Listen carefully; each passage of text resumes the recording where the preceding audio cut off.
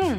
The crimes committed in this list might be a little graphic, so this is just a warning for anyone who's sensitive to content. Hi, my name is Jessa and please join me as we look together top 10 evil women who spent their life in prison. And before we begin in the last video I was in, top 10 messed up acts performed by evil queens, I did give you guys a riddle. The riddle was, what is a single digit number with no value? The answer is Zero. Your next riddle will be at the end of this video. Anyways, let's get started. Number 10. Klara and Katerina Mauerova. Klara was actually a very loving and acceptable mother to her two sons, Andrej and Jacob, where they would take trips and summer camps and she would play with her sons all the time. It wasn't until a new child entered their home by the name of Annika and Klara and her sister Katerina were part of a cult named the Grail Movement. When Annika came into the picture, it was under the support of Katerina and Klara's sister where she was told by Katerina that Annika was a 13 year old who escaped from a trafficking gang that had physically harmed her. Annika was also apparently very sick and suffered many illnesses which gained Klara's sympathy. Klara wanted to adopt Anika after bonding with her so quickly and even had a mystery doctor tell her how to take care of Anika. This same doctor told Klara that her sons were a problem and needed to be cured from their evil spirits. It was then Klara would do an affluent amount of violating and harmful things to her biological sons like shock therapy, making them eat their own flesh, dunk their heads in water, as well as invite others to her cult to do the same. Anika would also lie to make the aggression towards the boys even worse. It was until a man named Edward had a CCTV camera for his newborn baby when Klara was caught in the act. Klara and her sisters were caught and it turns out Anika was actually a 33 year old woman posing as a 13 year old named Barbara, who had a disease that made her look younger than she actually was. She was eventually arrested as well, which if you've seen the movie Orphan, it's actually based where this was from. Klara got 9 years in prison and her sister got 10 years since her sister Katerina actually knew who Barbara was the whole time. Number 9. Cordelia Botkins However you were in your relationships or affairs, be aware of ex-lovers who might never want to let you go. Cordelia met her lover, a highly regarded reporter, John Preston Dunning, when he was bicycling in San Francisco. At that point, she was 41 years old, 9 years his senior, and although they were already married to their own partners, John was very smitten by Cordelia. John eventually was left by his wife who discovered the infidelity, but for Cordelia, her husband was pretty cool with it. John also had issues with gambling debts, and he was let go from his job because he was a heavy drinker, so he had to move in with Botkins Hotel. Their affair lasted for about 3 years, but ended when John was rehired to cover the Spanish-American War. When he left San Fran, he told Cordelia, baby girl, I am not coming back, and he even reconciled with his wife because he was leaving for Cuba where he helped survivors of the Spanish battleships during the Battle of Santiago de Cuba. Cordelia, however, didn't care for this and wanted him back, so she sent anonymous letters to his wife Elizabeth detailing her husband's affairs. Unfortunately, it got worse when Elizabeth opened a box of candies addressed to her and her sister with the words, with love to yourself and baby, passionately and fond of candy.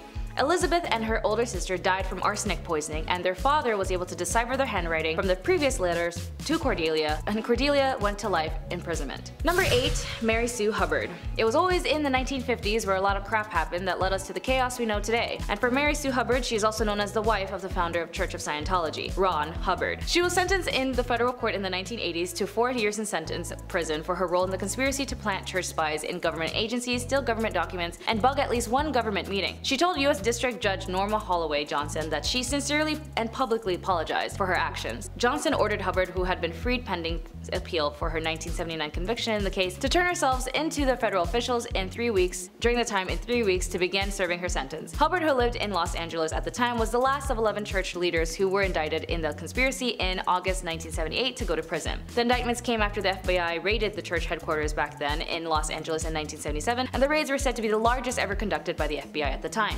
Documents introduced in courts by prosecutors in 1979 contended the operatives of the church initiated numerous break-ins at government official offices, including the Justice Departments, and they secretly placed a listening device in the Internal Revenue Service's conference room, and all in apparent effort to combat what the church alleged government harassment. Judge Johnson commented that she didn't know whether the government had harassed the church, but she quotes, Even if I assumed there was harassment, I still can't accept what you did as excusable. Number 7. Natalia Guerra Speaking of religious cults, Natalia Guerra was definitely part of one where she had sacrificed her own two-day-old infant and burning him to death as part of a satanic ritual. She was finally apprehended by police after evading capture for two years. Just two days after giving birth, Natalia agreed to have a baby, Jesus, quote unquote, killed after the leader of Antares de la Luz cult and the father of the child, Raymond Gustavo Castillo Gaete, declared that the infant to be an antichrist and that the sacrifice would help prevent the end of the world on December 21st, 2012. Natalia had previously stated in her defense that she was drugged at the time of the murder, but a forensic psychologist declared that the numbers were not under the influence when the sacrifice sacrifice was carried out. After her sentence, Natalia managed to flee and was on the run for two years. Investigators noted that she had lived in different houses and even changed her identity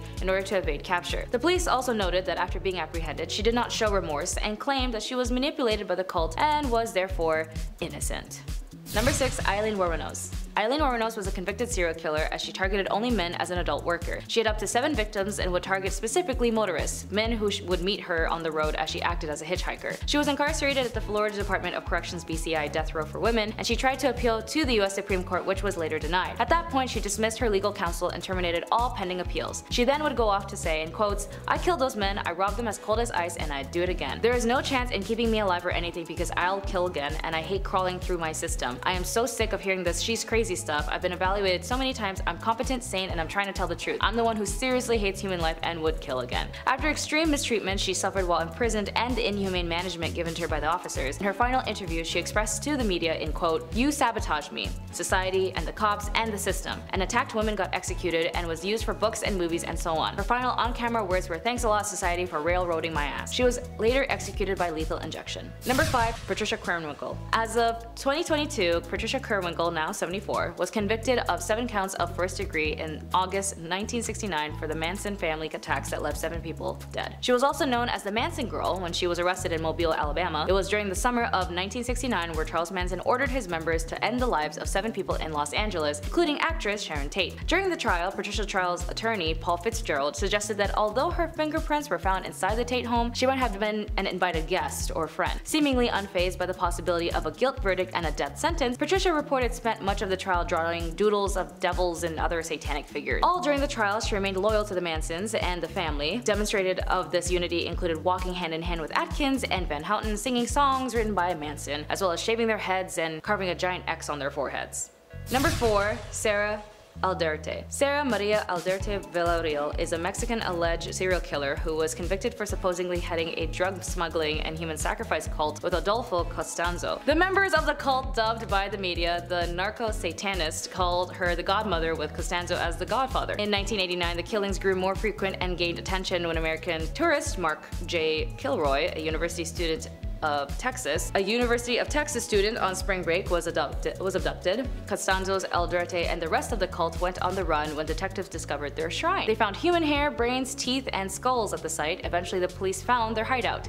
El Aldrete was convicted of criminal association in 1990 and jailed for six years. In the second trial, she was convicted of several of the killings of the, head, of the cult's headquarters and sentenced to 30 years and in prison. If Aldrete is ever released from prison, American authorities plan to prosecute her for the murder of Mark. If Aldrete is ever released from prison, American authorities plan to prosecute her for the death of Mark. Number 3. Leonarda Cianciulli Known as the soap maker of Correggio, Leonarda Cianciulli was a serial killer from Italy. Cianciulli was devastated after learning that her son was going off to prepare for the war in World War II. To keep him safe, Cianciulli offered human sacrifices. She killed three of her neighbors with an axe and made tea cakes out of their remains. Not only would Cianciulli eat these cakes, but she would also serve them to guests and Cianciulli's third victim, Virginia, who was made into both teas and cakes and bars of soap. Once again, this soap was gifted to friends and neighbors and Cianciulli was eventually sentenced to 30 years in prison. Sorta sounds like the femme version of Sweeney Todd, but a Bath and Body Works edition. Number 2. Enrica Marta Often referred to as a vampire owing to the nature of her crime, it is generally believed that Marta kidnapped kids off the streets of Barcelona and put them in her work brothel. It's also believed that Marta killed minors and used their blood and remains in various elixirs. She then sold these elixirs to the rich, claiming that they treated dangerous ailments like tuberculosis. 12 victims have been linked to her, although it's suspected that she killed many more. Although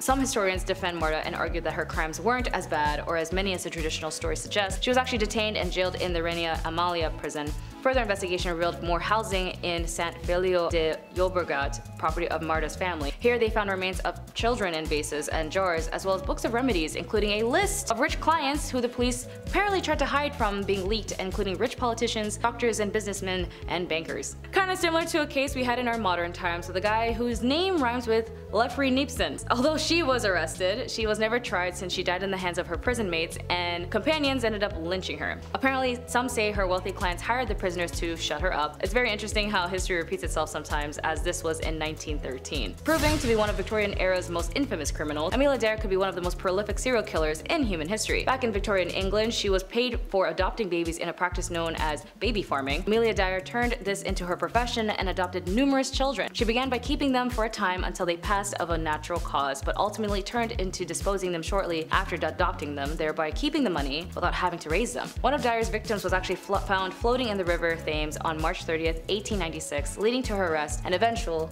execution. While six victims have been confirmed, it's believed that Dyer may have killed up to 400 children throughout her life. In one of the most sensational trials of the Victorian period, she was found guilty and later hung. Who was your favorite, if you had one, and did you learn anything interesting today? Let me know. And for your riddle, it is Forward, I am heavy, backwards, I am not. What am I? Be sure to put your answer in the comments below and I'll reveal the answer in the next video, top 10 terrifying places in Japan haunted by ghosts. That's it for today, thank you for joining me. My name is Jessa, be sure to like and subscribe and I'll see your beautiful faces in the next one. Goodbye.